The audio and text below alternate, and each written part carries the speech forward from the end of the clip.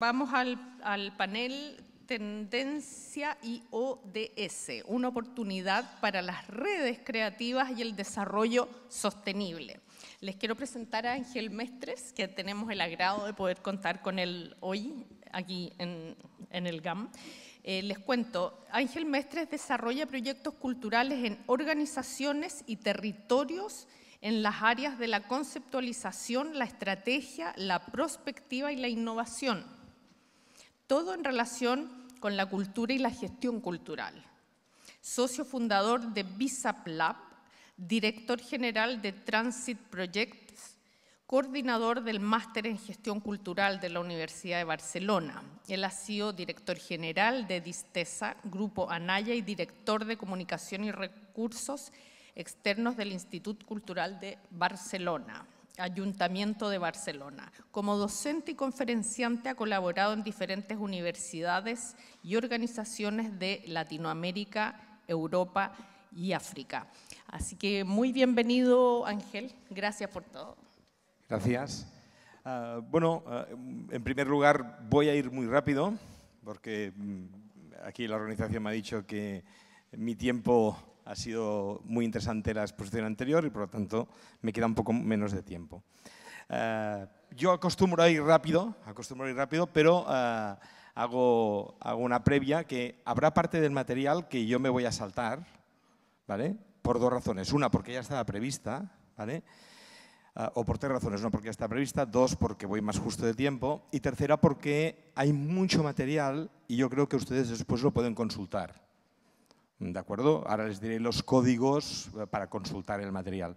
Todo lo que está puesto, cuando hay un link de color naranja, hace referencia a que ustedes pueden bajarse ese material, ese documento, ese, escrito, ese libro, ¿de acuerdo? Y pueden ampliar lo que yo pasaré a vuela pluma, pasaré rápido.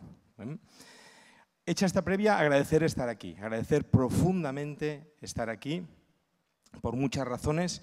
Eh, pero la, última razón esta vez es eh, el estar aquí en Chile. Eh, y dirán que, mal educado, ¿no? Y no, porque he estado muchas veces y por lo tanto me siento como estar en casa, pero estoy muy agradecido porque la gente que me ha invitado, Carolina, Fabiola, la gente que me ha ayudado, Cristóbal, Loreto, toda la producción, me han tratado súper bien. ¿De acuerdo? Y por lo tanto, cuando uno está en algunos momentos eh, complicados ¿eh? de trabajo, de vida y tal, notas cuando la gente te tiene cariño y lo quiero agradecer públicamente. Por interpelación a la mesa anterior, ¿de acuerdo? Voy a empezar distinto a lo que tenía pensado empezar, ¿de acuerdo? Eh, que es Voy a intentar explicar una historia que acabará al final de la conferencia, ¿de acuerdo? Acabará. ¿eh? Pero que para mí es tan importante como la cerámica negra, ¿de acuerdo? Que acaban de enseñar ellos. es igual de importante, que es el McDonald's del barrio de San Barthélemy en Marsella. Igual de importante patrimonialmente hablando. Ah, la historia la empiezo y la acabaré al final. Solo les cuento el inicio de la historia. En el barrio de San Barthélemy de eh, Marsella, antes de la pandemia, un, par de años antes de la pandemia, ¿de acuerdo? Resulta que los vecinos y vecinas del barrio de San Barthélemy se manifiestan para que el McDonald's de su barrio no se cierre. Y cuando se manifiestan, los vecinos y las vecinas mm,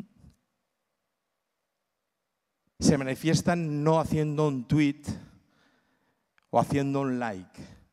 Se manifiestan tirándose gasolina delante de la policía y con compañeros suyos eh, con unas antorchas al lado para inmolarse. ¿De acuerdo? Finalmente logran esos vecinos y vecinas que no se cierre el McDonald's de San Bartolomé. ¿De acuerdo? Voy a cerrar porque eso soy, es mi WhatsApp que llega, ¿vale? ¿De acuerdo? Eso no estaba previsto. Y el problema no es que llegue el WhatsApp, es que se vea. ¿eh? ¿De acuerdo?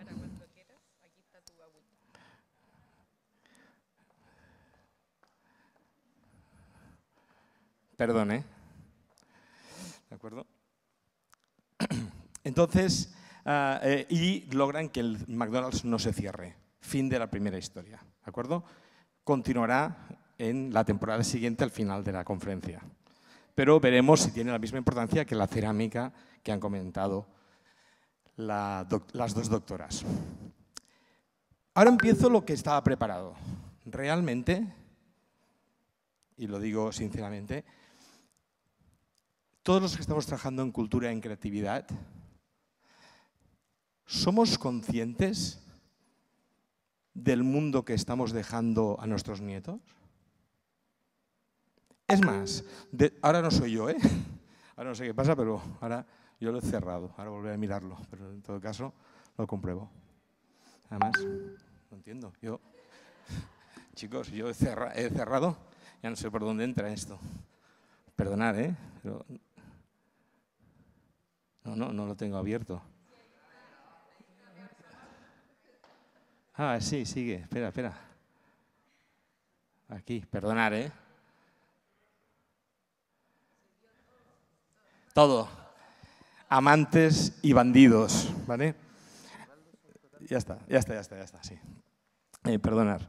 Eh, y cuando digo todos, yo diría que solo excluiría si hay algún menor de 25 años que no lleve reloj. ¿Vale? Porque no hay ningún menor de 25 años que lleve reloj. La mayoría de la gente que lleva reloj, al menos que no corra o se controle ¿eh? los pasos que da al día. ¿Por qué? Porque el reloj, algo que solo tiene un elemento que solo tiene una función, no hay nadie menor de 25 años que entienda que un aparato solo puede tener una función. ¿Mm? Claro, este, este elemento de el mundo que dejamos Quiere decir que cuando planteamos los ODS, y yo hablo de cambio organizacional a partir de los ODS, es mucho más importante de lo que a nosotros nos parece. ¿Por qué? Porque representan de alguna manera fomentar que la cultura es un pilar que ayudará a la sostenibilidad. Y por lo tanto, cuando tenemos nosotros los ODS marcados en, en estos 17 ODS, el primer consejo es, siempre que hagan un decálogo o que hagan un listado, nunca usen un número primo, porque siempre les va a quedar un agujero en cualquier matriz que hagan.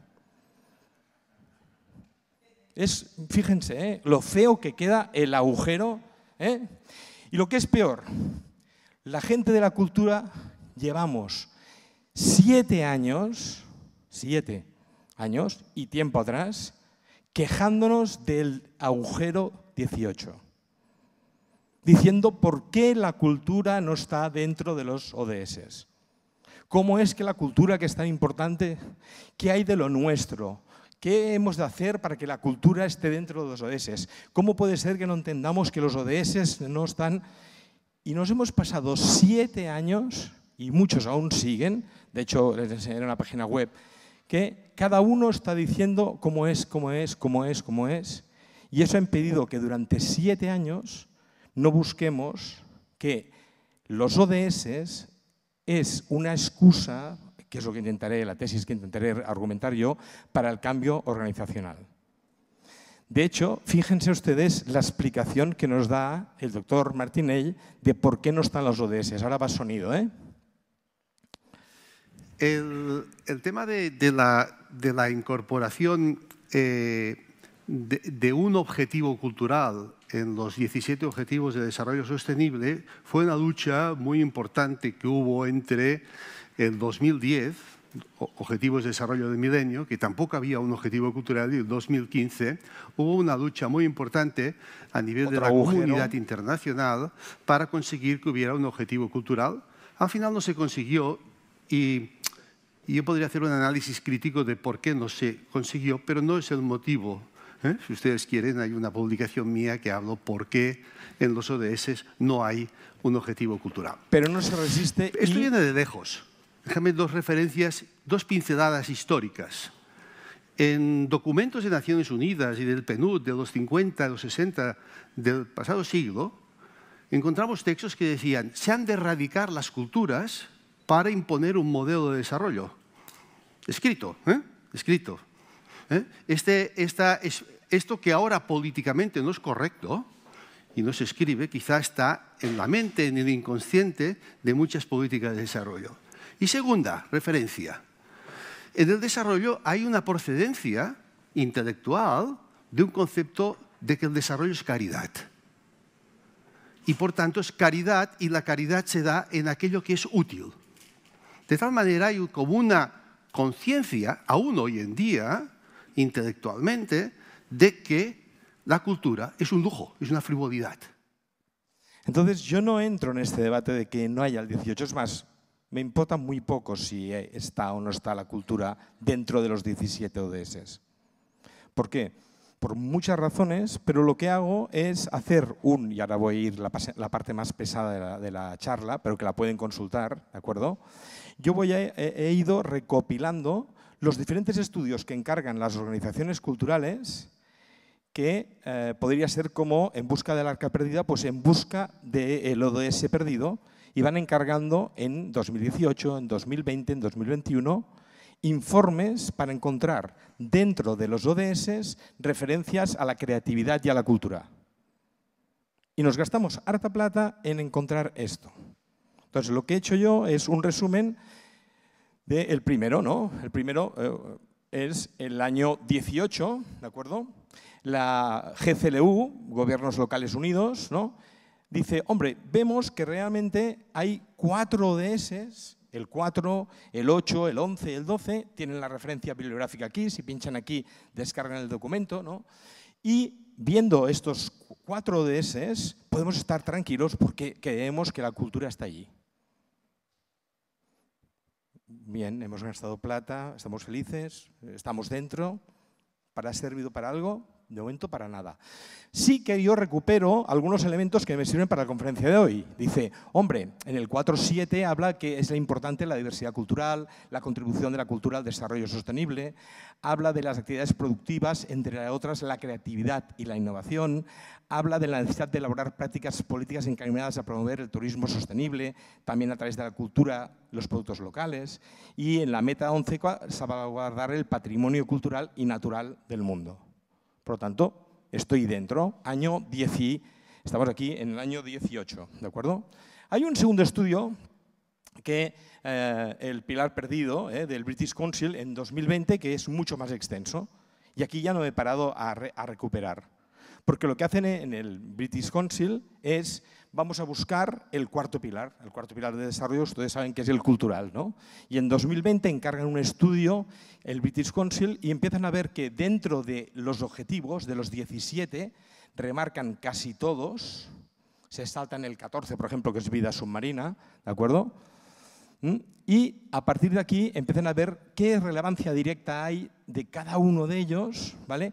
qué relevancia indirecta hay con la cultura y la creatividad de cada uno de ellos y algunos aspectos de algunos indicadores que todo y la relevancia, no hay ningún indicador que nos ayude a poder ver si avanzamos o no en esa dirección. Bien, segundo documento. Por lo tanto, si ustedes tienen que argumentar los ODS, pueden utilizar este documento. Pero resulta que una cosa muy curiosa es que una cosa que han conseguido los ODS, negativa, es esta búsqueda del 18, ¿vale? Que me parece algo, pero que por primera vez en toda la historia de la gestión cultural, los diferentes ámbitos tenemos ICOMOS de museos, IFACA de consejos de las artes, eh, Agenda 21 de la cultura, la Unión de, perdón, de bibliotecas, eh, la, la, Unión de Músicos Internacional de Músicos, etc. Todos juntos reivindican el hashtag Cultura 2015, después Cultura 2030, y crean una página web conjunta que vela por, eh, y que deberían seguir, que es esta página web de cultura2030.net, ¿no? porque todos los sectores, por primera vez, no hablamos de qué hay de lo mío, qué hay de lo de patrimonio, acabamos de escuchar una conferencia patrimonialista, ahora hablarán en una conferencia que yo intento abrir un poco más, pero hablo desde la gestión cultural, alguien habla desde la emprendeduría, alguien habla desde qué hay de lo nuestro, qué hay de lo nuestro, qué hay de lo nuestro, cuando estamos hablando de una cultura amplia. Finalmente, empiezan a salir algunos resultados de estas búsquedas del 18, ¿vale? que nos llevan a un par de documentos interesantes. El primero es un documento que recomiendo, que es este, este documento de Cultura y Desarrollo Sostenible, que aquí empezamos a ver ya algunos elementos que lo que crean es herramientas para poder utilizar los ODS dentro de tus proyectos. Ahí me empieza a interesar el tema. Se olvidan de que falta el 18, pero empiezan a decirte, oye, mira, hay esta herramienta que te puede ayudar. ¿De acuerdo? Y empiezan a ver, eh, perdón, empiezan a ver algunos elementos, ¿no?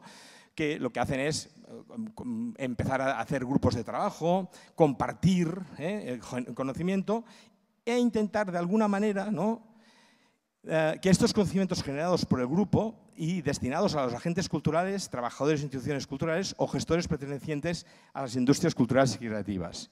Y empezamos a ver una serie de contenidos que son los que nosotros estamos trabajando, estemos en el ámbito que estemos.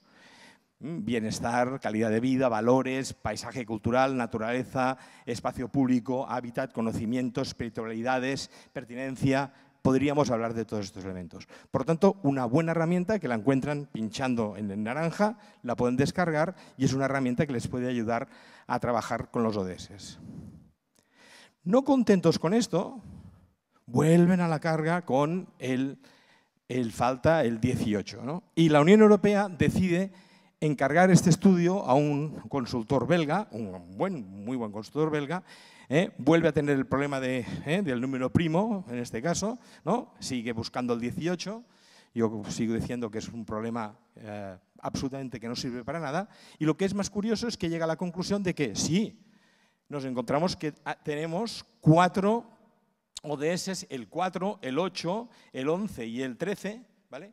que justamente no tienen nada que ver con el otro informe que ha encontrado la cultura en otros ODS. Pero dices, estamos gastando tiempo, espacio, recursos para algo que no nos va a llevar a ningún lado. Pero como yo tenía que recuperar y tirar del hilo para dar herramientas, y necesito herramientas, y quiero dejar un futuro mejor, ya no mis nietos, ya no llego ya no llego. No, por edad ya, que también, ¿eh? sino por un tema de que estamos hablando de algo que mm, los arqueólogos lo entenderán muy bien. ¿no? Los arqueólogos cuando clasifican una pieza eh, que dicen, mira, este hueso es de esta época más o menos 5.000 años. Pues nosotros lo que estamos haciendo ahora, en estos momentos con nuestros proyectos, hemos de ver que realmente estamos provocando, si nos metemos en todo el tema de la sostenibilidad medioambiental, estamos provocando cambios para de aquí 50 años. Por lo tanto, todo esto que queremos de la inmediatez, de la inseguridad, de, que nos piden que cada cuatro años más o menos cortemos una cinta de proyecto nuevo, no sé por qué que es cada cuatro años, ¿de acuerdo? Todo esto no nos sirve si queremos hablar de un desarrollo sostenible. Y aquí el autor, en estos cuatro ODS, yo empiezo a marcar cosas que me parecen elementos importantes para mi trabajo. Y me olvido del ODS, lo tengo en una esquina, pero para mí la capacidad digital en cultura es importante. Si oyeron la conferencia de eh, el colega argentino Kirchner que estuvo ahí hablando, lo verán clarísimamente. Pero además de todo lo que dicen, hay un elemento que el concepto de identidad cultural, olvidar europea, porque es un tema de informe de la Unión Europea, pero de identidad cultural, lo acaba de decir. Dice, no, hablo de la identidad chilena, hablo de, ¿no? Estamos homogenizando el mundo la identidad cultural, ¿no? ¿Cómo la abarcamos? O, por ejemplo, ¿qué pasa con todo el tema de las políticas públicas y la financiación? Hemos de repensar nuevas formas de política pública y financiación. Y lo mismo pasaría si cojo el 8. ¿no? En el 8, ¿qué marco?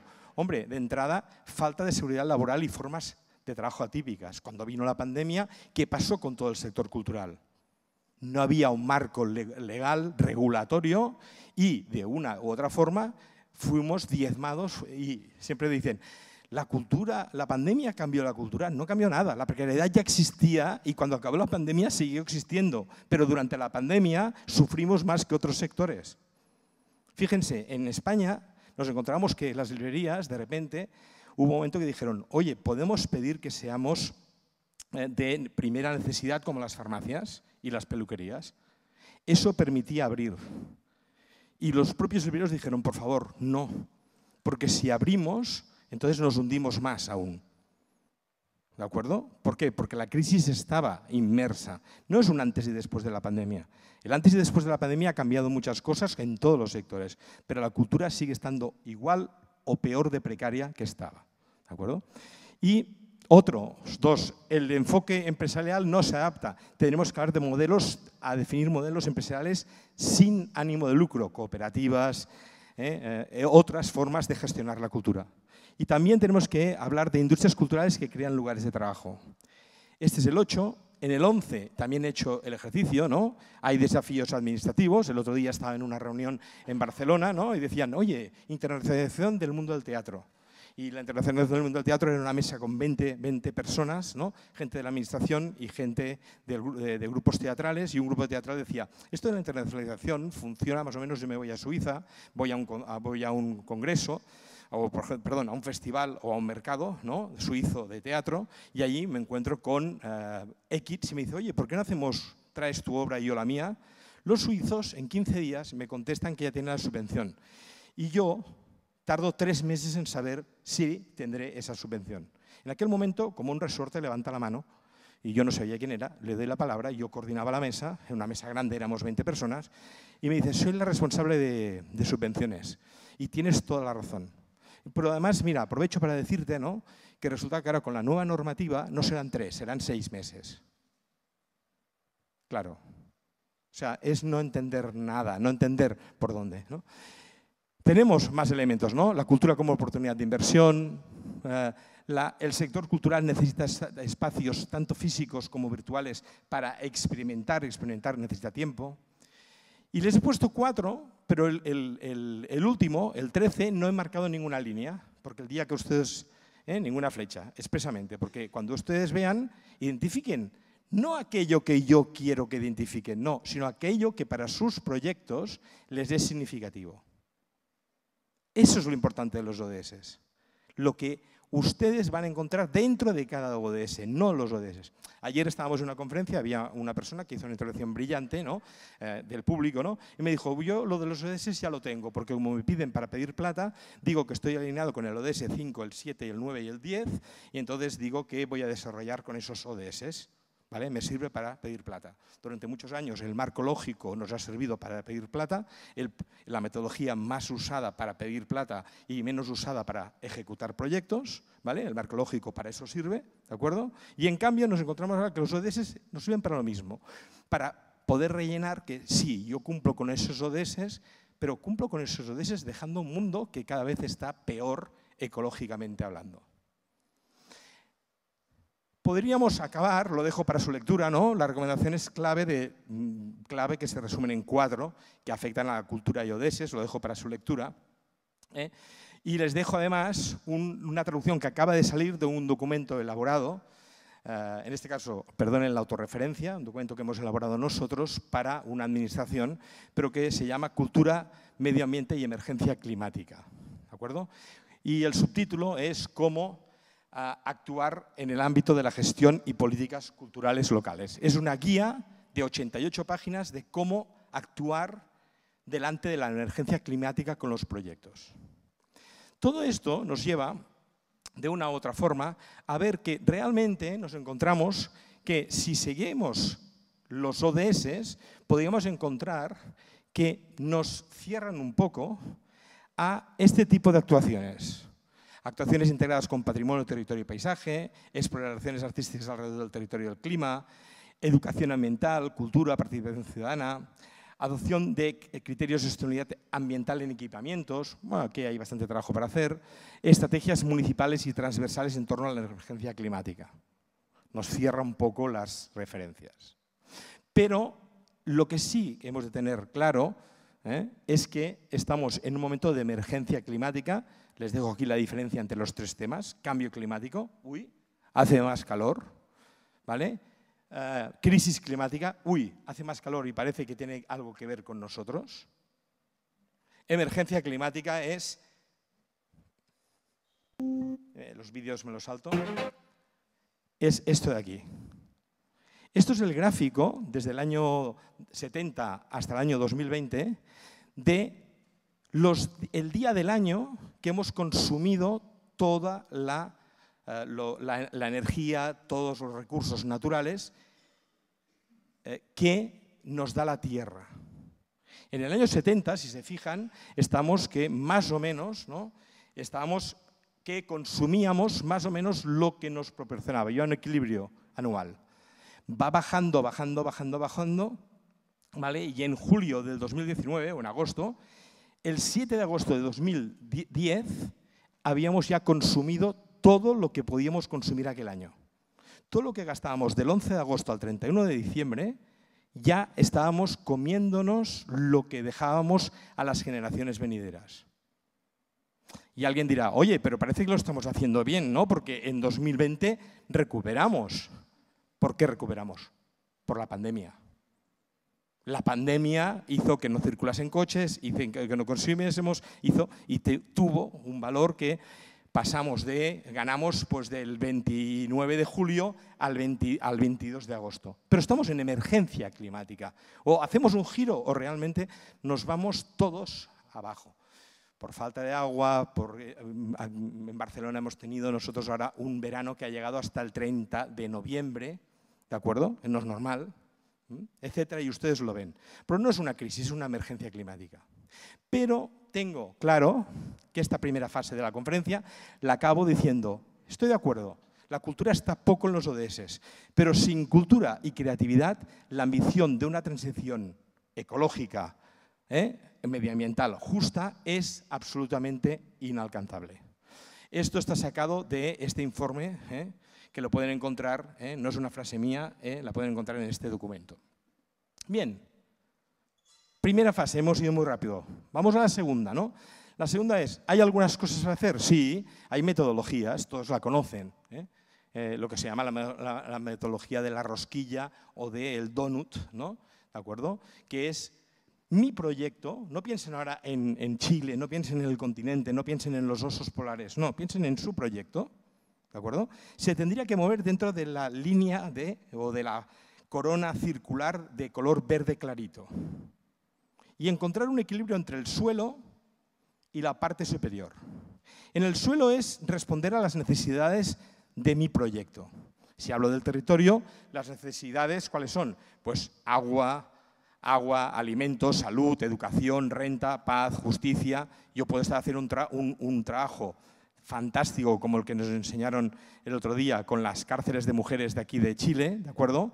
Que lo que estoy haciendo es educación, salud, ah, crear redes, igualdad de género, equidad social, ¿de acuerdo? Pero para hacer este proyecto debo ver que tengo un techo ecológico que no puedo contaminar más, no puedo gastar más recursos. Ese equilibrio. ¿Para qué vale la pena hacer una exposición sobre medio ambiente si resulta que la energía que he gastado para hacer esa exposición es mucho mayor que no haber hecho esa exposición? ¿De acuerdo? ¿Para qué estoy hablando de NFTs cuando resulta que NFT es tal? Tengan en cuenta, cuando ustedes en un mail envían, gracias por contestarme, buen fin de semana, ese email de una persona es un kilómetro de carretera llena de coches, echando CO2. Por lo tanto, si no contestan no es que sean maleducados. ¿De acuerdo? Claro, esto lo podríamos, lo pueden analizar, esta es la situación del mundo en el último informe de 2021, y pueden ver que hay algunas cosas que estamos bastante mal, en cambio climático, en, pérdida de la biodiversidad, en descargas de nitrógeno, en otras cosas estamos un poco aún aguantando, acidificación de los océanos, etcétera, ¿no? Pero en cambio hay cosas, contaminación del aire, que ya no hay ni límite. Esto se llama el método rosquilla, ¿vale? Y este método rosquilla dirán, oye, es que me dejas la línea verde muy, muy, muy estrecha. Bueno, este señor, que se llama Prince, ¿se llama Prince? Ah, bien, ¿eh? hemos podido ver límites de edad aquí rápido, ¿de acuerdo? Bien, vale, pues entonces Jimi Hendrix, ¿no? Hizo lo que hizo solo con seis cuerdas de guitarra. Seguramente le hubiesen dicho, oye, ¿quieres 12 cuerdas? Y hubiese dicho que sí, quizás. Pero con seis tuvo suficiente. ¿De acuerdo? Y por lo tanto, movernos en esa línea verde depende de cómo pensemos nuestros proyectos. Y aquí es donde viene que yo creo que, y aquí es donde me voy a extender más, aunque voy bien de tiempo, ¿eh? voy, voy rápido, pero voy bien de tiempo. Pero aquí voy a ir un poco más lento, ¿vale? Porque voy a hacerlo de dos maneras. Lo voy a hacer una lenta, otra para dummies y al final otra eh, resumen, ¿de acuerdo? La lenta. Cuando yo pienso realmente mi proyecto, tengo un punto de partida que es que yo salgo de un paradigma, de un discurso. Ahora aquí pongan lo que quieran, un discurso progresista, de derechas, de izquierdas, eh, sociológico, antropológico, antropológico patrimonialista, antropológico patrimonialista de género eh, eh, y de transgénero especializado. busquen el discurso que ustedes quieran, un paradigma, ¿vale? Un paradigma. Segundo, para tirar adelante ese proyecto con ese discurso, ¿vale? Creado con la comunidad, ¿eh? No estoy diciendo que yo este, puede ser que sea colaborativo, ¿de acuerdo? Pero es un discurso. Necesito una estructura y una gobernanza. Ayer salió el tema de la gobernanza, lo explicaron mucho mejor eh, Guillén y, Pablo, eh, lo explicaron y Jorge lo explicaron mucho mejor en la mesa de la tarde, ¿no? Pero la gobernanza de los proyectos yo creo que es el gran reto. ¿eh? ¿Cómo se gobierna? ¿Cómo participa la gente en la gobernanza? Tercer, elemento, esta estructura, cuando hablo de estructura, hablo de estructura y de recursos humanos, ¿no? tiene que ver con, con la capacidad de tener esto que nos han explicado 20.000 veces. Planes, programas, proyectos y actividades. Planes, programas, proyectos y actividades. Bien, lo que voy a hacer. Además, hay un tercer elemento, un, último, un penúltimo elemento, ¿vale? que es todo lo que tiene que ver con ¿Cómo lo comunico? ¿Cómo explico lo que hacemos? ¿De acuerdo? Y falta uno, y no por ser el último es el menos importante, y que todos lo, estáis buscando continuamente, que es recursos. Estas seis cajas, ah, perdón, cinco cajas, ¿vale? Son las cinco cajas que yo pienso desde un paradigma donde los ODS están, ¿eh? no, no he olvidado. Pero mi cambio, mi cambio tiene que ver con la relación entre estas cajas. Primera relación, ¿vale? La primera relación es entre la amarilla y la naranja, que es para yo desarrollar un plan, para yo tener eh, un paradigma que se desarrolle en planes, programas y proyectos, necesito tener estrategia. ¿Vale? Una estrategia. Yo, además, necesito que esa estrategia se relacione con los recursos de forma coherente.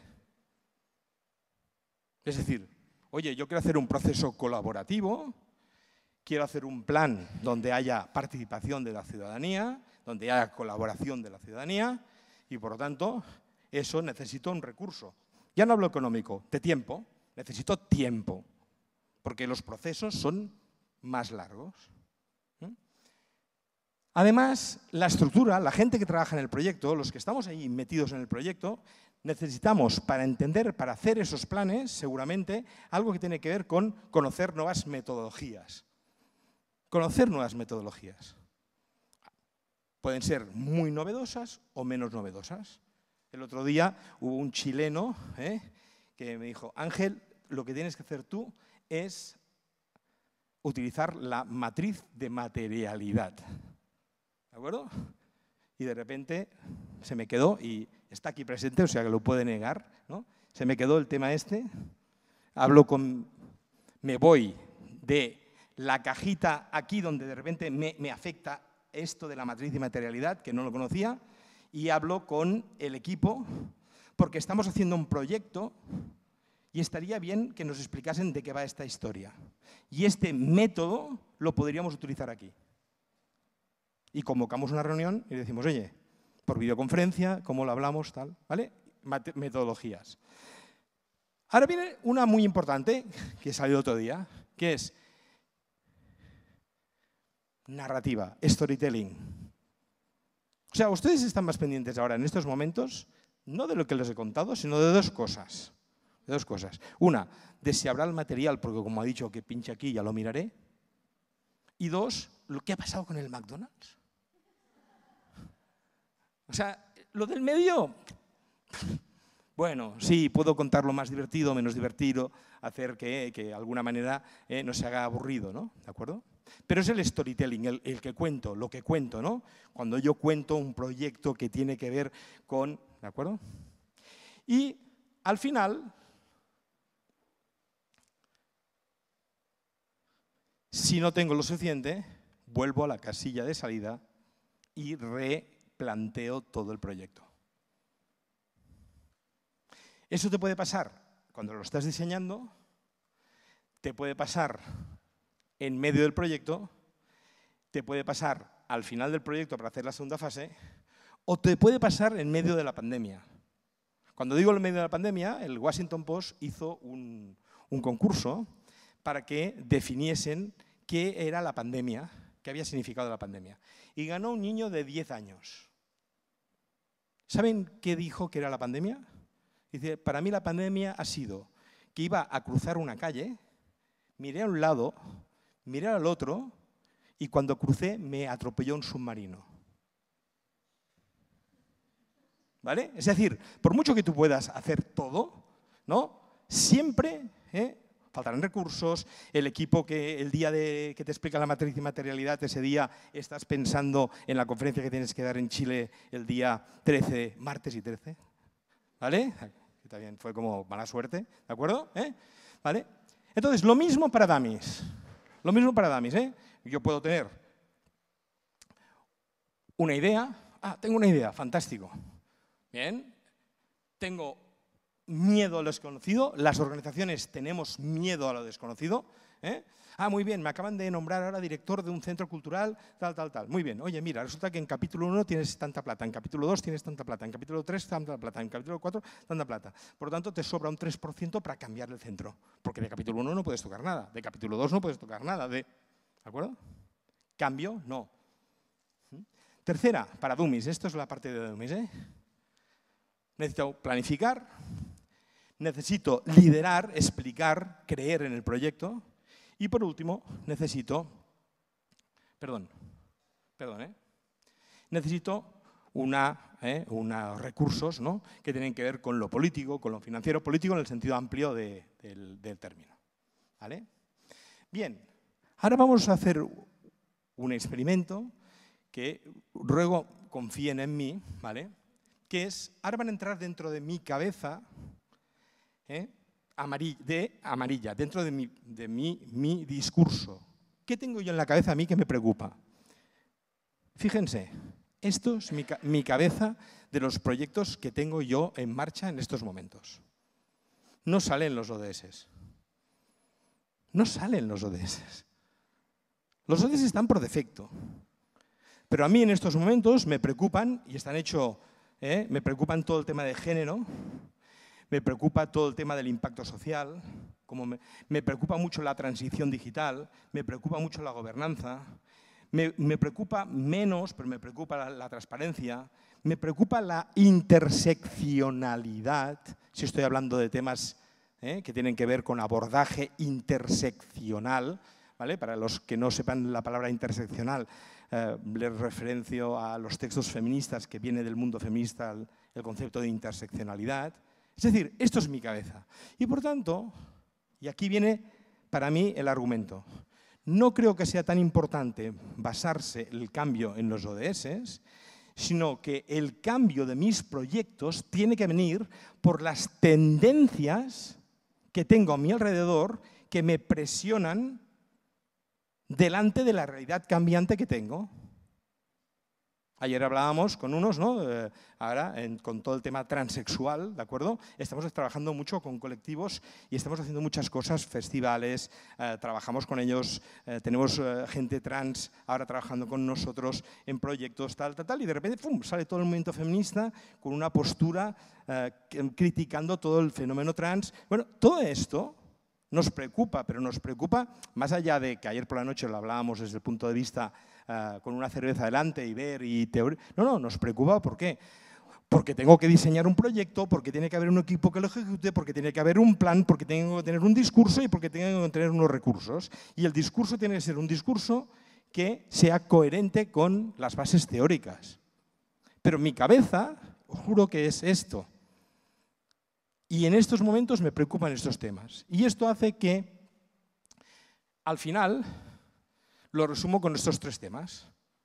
Uno, enter o amén. ¿Por qué? Es decir, tengo que estar en un paradigma. Y estar en un paradigma crea muy... Eh, eh, alguien podría hacer eh, referencias que es paradigma, ¿no? Y paradigma, podríamos ir al libro de Kuhn, de la estructura de las revoluciones científicas, y alguien seguro que lo estudia en la universidad, ¿no?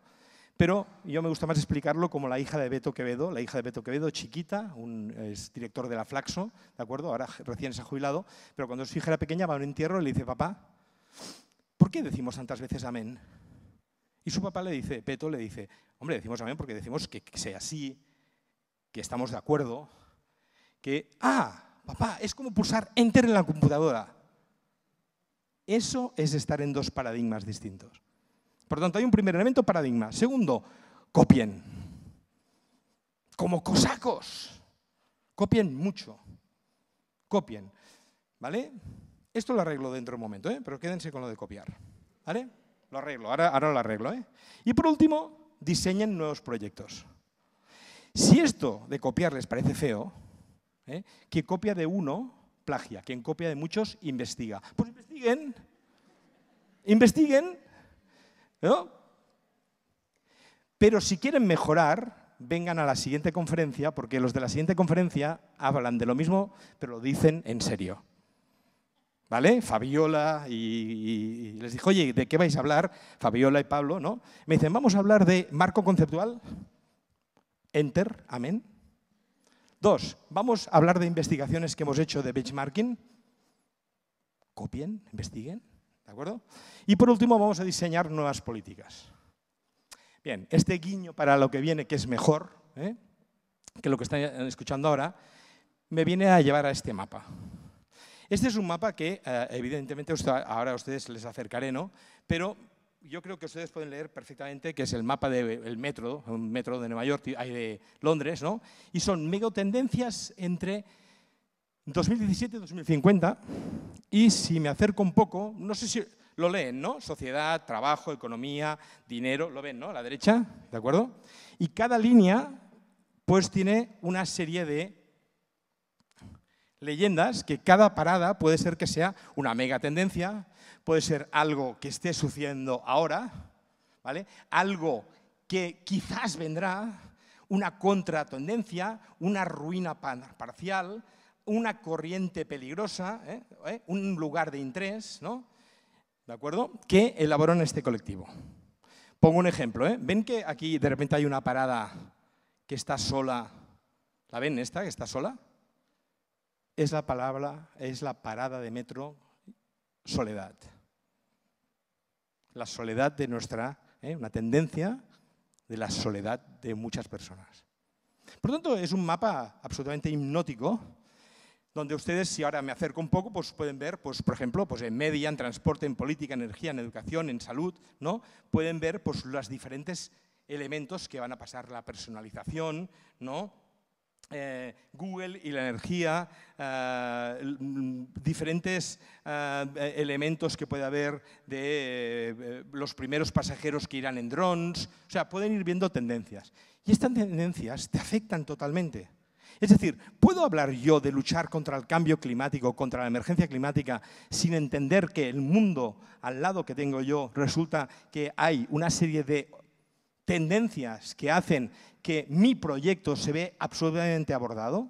¿Puedo hablar de cambio climático ah, sin dejar de hablar de la tendencia de la precariedad laboral? ¿Puedo hablar de emergencia climática sin entender que en estos momentos hay unos lugares en el mundo, lo explicaba muy bien Octavio el primer día, eh, hay unos lugares en el mundo que se están despoblando, como dice Baricon the Game, ¿eh? porque tienen unos horarios, tienen unos gurús, tienen unos marcos, como esto que estamos haciendo aquí, y otros lugares que se están poblando, que son lugares que no tienen horarios, que no tienen gurús, que son ¿eh? pues todo el mundo digital. Estas son las tendencias. Y por tanto, puedo, tengo dos opciones, o trabajar con este mapa, ¿vale? Con este mapa, pero este mapa lo estuve trabajando con alumnos de la universidad durante un año y era tan que cuando llegaban a alguna conclusión se había acabado el trimestre, no la clase, el trimestre. O, si no, les puedo invitar a que llevamos durante tres años algo que presentamos ahora, que es este proyecto que se llama Play Main Mentes Colmena. Mentes Colmena, ¿qué es? Algo tan simple como una capacidad ¿no? que tenemos ¿no? para poder hacer un resumen del anterior, donde yo, si entro en Playments, ¿no? me encuentro que puedo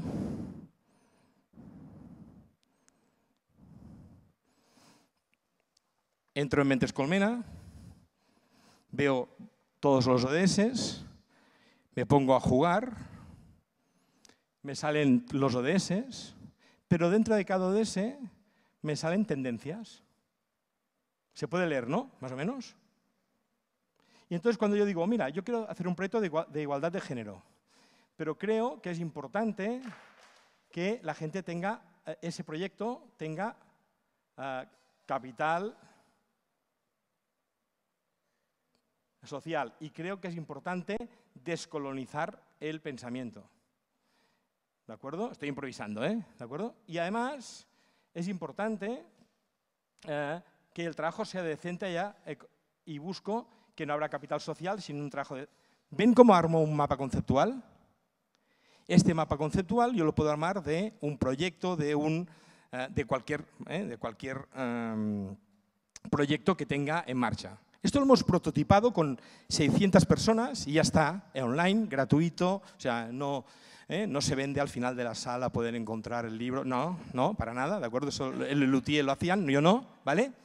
Pero lo pueden encontrar online, entran aquí y se dan de alta, solo les piden el, eh, para tener control de la gente que no haya ningún... ¿eh? Y pueden hacer su, su, um, su mente colmena. Si hay algo que, alguna tendencia que no entienden, aprietan la tendencia y hay una explicación y un vídeo que se llama Zumbido, ¿no? donde, ah, no sé qué quiere decir descolonizar el pensamiento. Te dicen, descolonizar el pensamiento es esto y puedes escuchar este vídeo para entenderlo. Y hay 17 ODS y cada ODS tiene 10 tendencias, con lo tanto tienes 187 cartas para hacer esto que ven aquí. Meter los ODS, me sale aquí un mapa, ¿vale? Y aquí pueden ver cómo queda si lo hacen en papel. Lo pueden descargar en papel, ¿eh? O sea, hay un lugar donde lo puedes descargar y lo puedes hacer. ¿Y qué pasa? ¿Qué se busca? Bueno, ver los, los ODS, ver los mapas que se generan, pero además lo más interesante es que, uno, propongo, dos, rebato, tres, trabajo y yo no estoy por la labor. Cuatro, llegamos a un consenso. Y ese es el consenso de nuestro mapa conceptual de ODS y tendencias que hacen que nuestro proyecto se articule.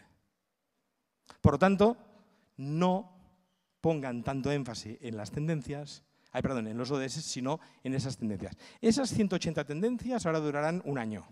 Dentro de un año caerán algunas y entrarán otras de nuevas.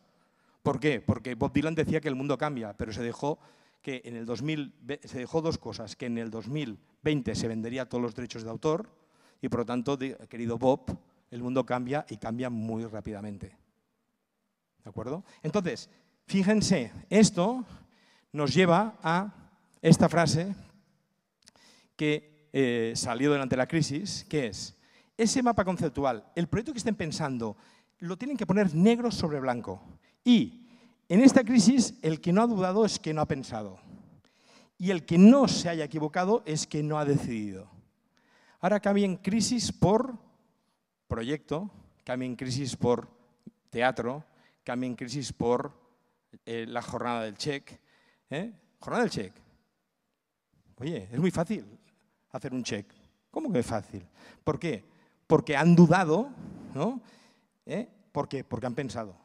Y si algo no ha salido bien, es porque no han pensado lo suficiente. Pero también ustedes pasa exactamente lo mismo. Vivir en constante duda de si tomo las decisiones y las tomo bien y correctas. Estoy acabando. Al final les añado solo un elemento más, muy rápido. la cadena, la, la, pirámide de valor. Y ahora va la respuesta del McDonald's, por estoy acabando. La pirámide de valor tiene que ver con qué valor tiene nuestro proyecto para los usuarios. Oye, yo, soy alguien que tenga un book de ensayos para grupos. Bien, el valor es funcional. Me salva tiempo, me reduce riesgos, eh, puedo conseguir eh, ahorrar dinero, eh, resulta que me reduce costes, me reduce esfuerzos. Oye, un proyecto que sea solo funcional es fantástico. Es fantástico, ¿eh? No, no es mejor que otros.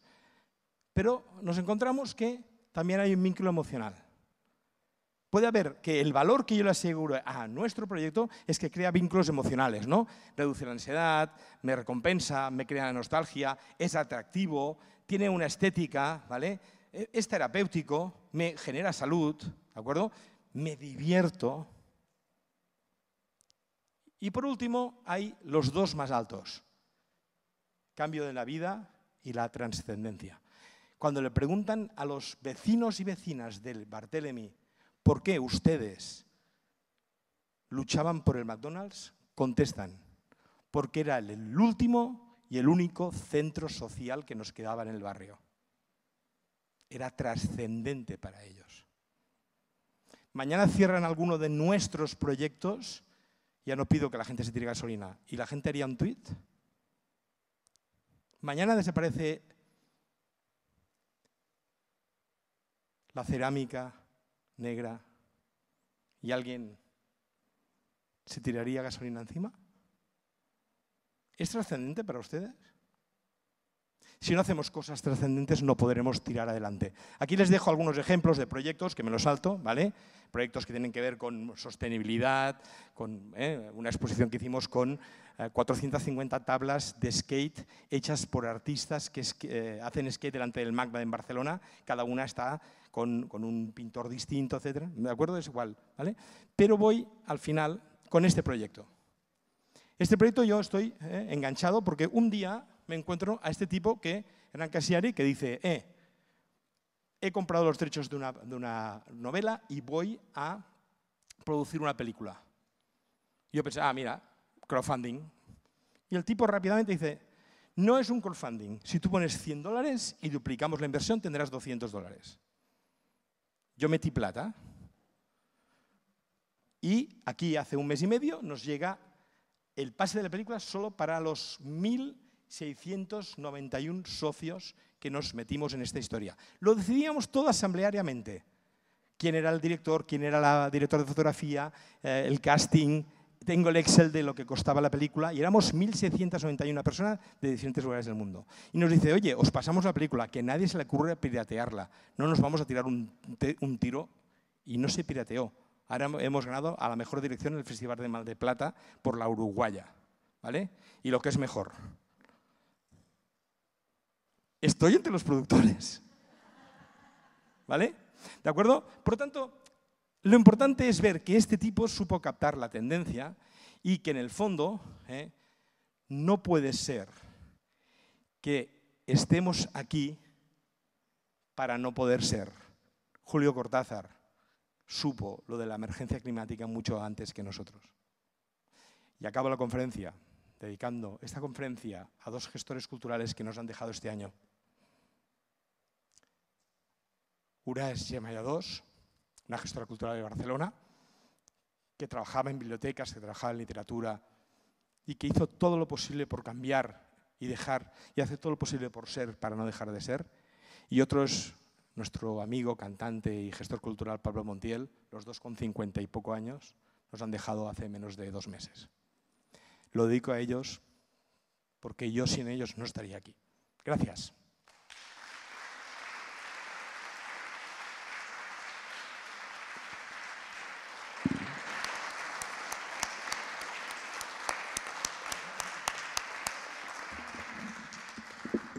Muchísimas gracias, Ángel, por esta charla realmente magistral, eh, que nos vamos con mucha información para procesar y pensar todos nuestros futuros proyectos.